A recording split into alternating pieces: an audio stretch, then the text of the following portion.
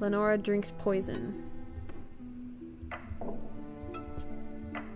Wait. How do I get her to drink the poison? What the heck? Um. Oh, oh, I am seeing. Okay, so people are in love, somebody dies, and she is sad. Oh, that is depresso espresso. We're gonna move on.